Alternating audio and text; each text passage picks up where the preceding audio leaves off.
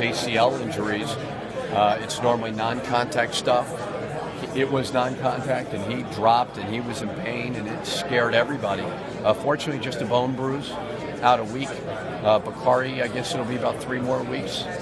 Um, and both were kind of non-contact deals. Uh, you know, Bakary's came to he came to practice, just said my, my foot's hurting. So I said, all right, you know, get off the court, and uh, they took a picture of it, and it was a stress fracture. So not sure where it came from.